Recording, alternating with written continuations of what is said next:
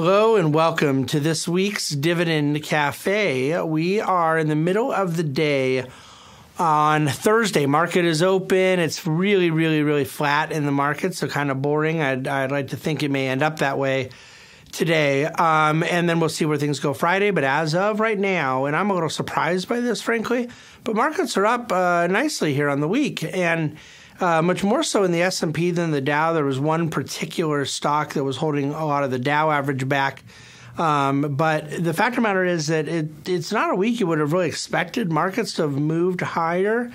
Um, you you had news that really shouldn't have affected markets, but has mostly been kind of negative just in terms of broad news cycle and and yet the markets have kind of moved forward and they haven't had a real positive catalyst either. There hasn't been any significant macroeconomic news that's come out this week. Um, you know, we've known and continue to know, and there's been no change around the fact that the Fed is sitting tight. Uh, earnings season's well done, and that doesn't pick up again here for another month. So it's a pretty slow time in general and unless there's some interruption in the news cycle and things like the the airline safety stuff that's come up this week, the big college admissions scandal thing. You know, these aren't real market market sensitive uh, events. Um, and so, in terms of why markets have gone higher, your guess is as good as mine. Other than, you know, I think there is a generally favorable backdrop around U.S. assets right now. I think that the climate is such that even with this really significant move higher that we've had since 2019 began, that uh, you know the the economic news is mostly healthy. and therefore, people are not playing into fears about earnings recession and things like that. Okay, so uh, I'm going to try to give you, viewers of our weekly video, a lot of the same information I provided this week uh, at dividendcafe.com, where we do our kind of flagship weekly, monthly writing. And I did cover a lot of topics there this week. It's an issue that I am particularly happy with. There's a lot of charts.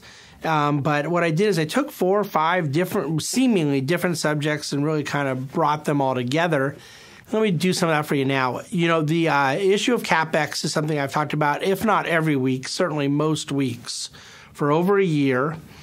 And I anticipate it will be another year or more that I continue to talk about it. And that is the capital expenditures uh, growing out of corporate America, the need to see capital expenditures growing. And by capital expenditures, I mean business investment, not spending for the sake of spending, but legitimate uh, capital investment in hard capex, structures, equipment, that drive productivity higher in the business sector of the economy. And I believe that the trade war is going to have to be uh, resolved before we can get the business confidence necessary to see this accelerate. But one of the things I did in an article I wrote this week at our marketepicurean.com uh, property, which is kind of a little higher level, it may, it's uh, meant to be a very purposefully uh, more severe treatment of the subject but I delineate between hard capex and soft capex, meaning uh, hard capex, those expenditures that are in things like property and equipment and structures, heavily focused around the energy, industrial, and material sector, versus what you might call soft capex, which is still capital expenditures and still driven towards business investment and growth but is more maybe on the R&D side or technology, software, intellectual property, things of that nature. Uh, look, all of uh, soft and hard capex, when it is a viable business investment, drives economic growth. But I believe it's the hard capex item that has suffered through this particular deficit, and that is where we think the trade war, um, last year ran into a rough patch with stabilization of oil prices. That's been largely uh, improved upon so far this year. Uh, rising interest rates had an effect on capital projects uh, as credit markets may have been more constricted. So you ran into a couple of interruptions to the growth we were starting to see in hard capex. And uh, that's the, the theme that we're looking to now, and that why we're so excited for the trade war to hopefully be resolved.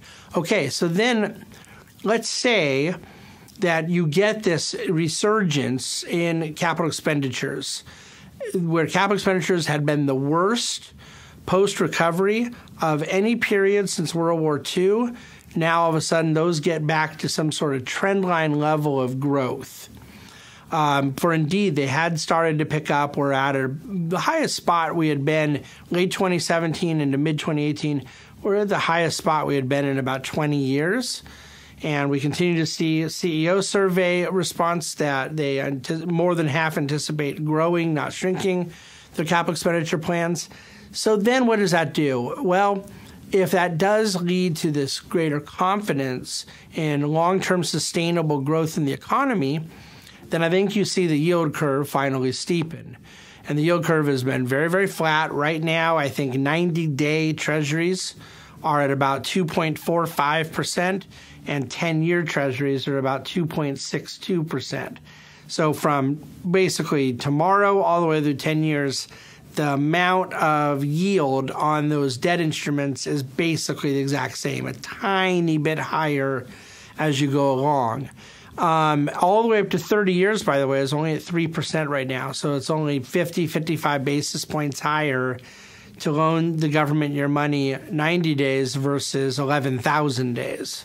So um, that's a byproduct of one thing and one thing only short term rates rose when the Fed brought the Fed funds rate higher and have kind of been anchored there. But long term rates have not risen because the confidence in long term sustainable economic growth is not there. This increased capex, we think, would help to uh, steepen that yield curve, which then has an impact, by the way. Uh, it both creates and reflects better economic conditions, the so called virtuous cycle. So that's where a lot of this connectedness comes from. Well, what what else is going on in the world? I mean, are we really to believe that the only thing we're sitting around waiting on is trade war resolution, which then allows better business confidence, which allows better business investment, which drives productivity, which steepens the yield curve, so forth and so on? Is that the only thing going on? Well, the Brexit issues this week, uh, Prime Minister May's proposal, which she actually did get the European Union to sign off on, but couldn't get her own parliament to sign off on. Uh, that failed, and so uh, there's a hard deadline of March 29th. Um, they that's what the date is actually there in their, I believe it's Article 50 treaty, where they announced their exit from the European Union.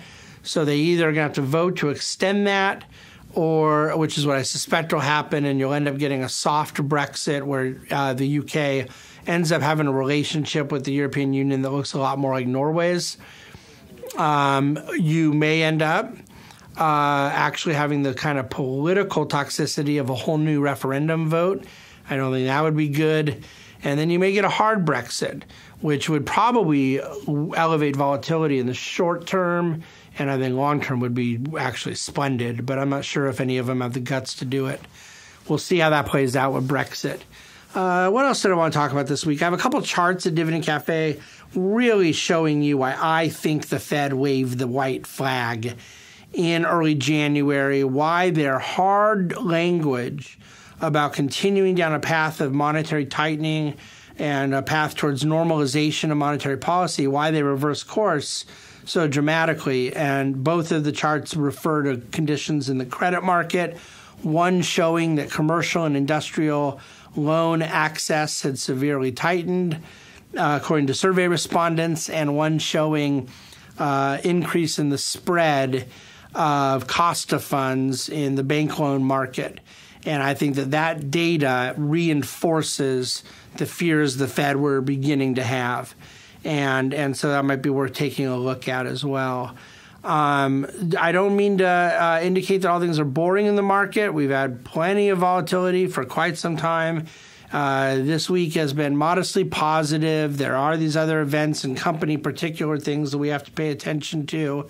As always, we're very uh, pleased to see uh, continued warm appetite around the emerging markets, particularly the way in which we're invested in them. Um, so, yeah, I think that's it for the week. Uh, let me do this. I will come back to you next week with another video, uh, as we always do, laying out what we are seeing in the market, what we're seeing in the economy, what we're paying attention to, what our big priorities are. Uh, earnings growth Q1, we'll start to get a feel for that in about a month, and then uh, from about the middle of April to middle of May, we'll get a feel for what earnings growth did in Q1 versus the year prior. But um, I, I reiterate some things I said last week, and I have some new data about it this week, and including a chart, by the way, at Dividend Cafe.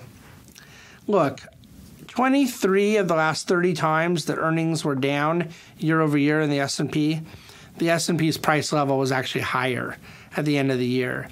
So we want earnings going higher, but transitory interruptions for a quarter or whatnot have not historically indicated uh, pandemonium in markets.